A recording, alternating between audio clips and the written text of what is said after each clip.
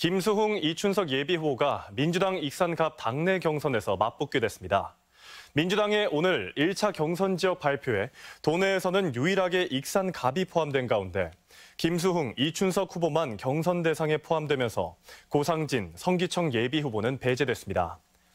익산갑 경선은 오는 19일부터 사흘간 진행될 예정인데 민주당은 앞으로 전략 선거구인 전주을을 제외한 나머지 8개 선거구에 대한 경선과 단수 공천 여부를 순차적으로 발표할 예정입니다.